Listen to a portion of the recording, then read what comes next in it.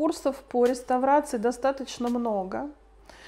И анатомии как-то маловато отводится времени. И э, максимум на практике моделируется ну, один-два зуба. Мой курс интенсивный, то есть я не рассказываю 8 часов о том, какие зубы, а мы эти 8 часов их моделируем.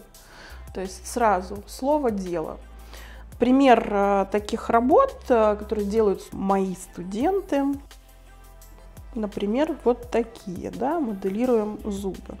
Отрабатываем пропорции как жевательной поверхности, что э, больше всего как раз э, и проблема да, у многих, так и пропорции зуба в целом, потому что ну, без знания соотношения там, жевательной поверхности к всей коронковой части да, и размеров, это тоже приводит потом, как сейчас модно говорить, к фейлам, да, к ошибкам.